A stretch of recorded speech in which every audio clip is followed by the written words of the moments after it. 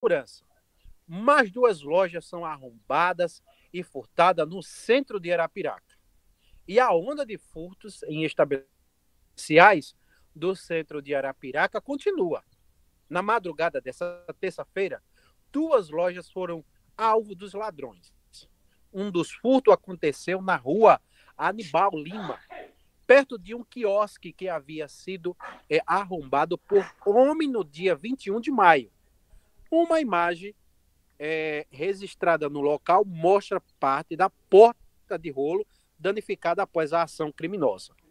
O outro caso aconteceu em uma loja de importados na Avenida Rio Branco, em frente ao Clube dos Fumicultores. Fumicultores. Nas duas situações, os criminosos fugiram com algumas peças de roupa e ainda não foram capturadas.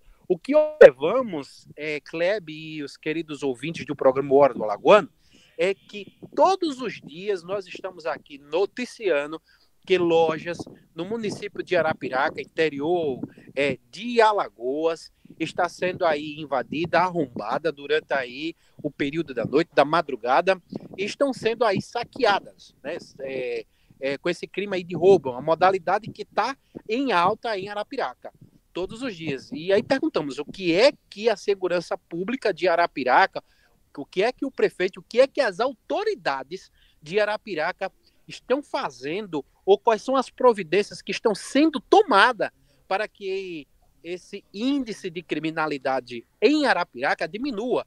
É uma vergonha, né? Aí a cidade que já tem, tem, um, tem um prefeito aí que é o próprio filho é, é deputado estadual e o, a criminalidade em Arapiraca está desenfreada.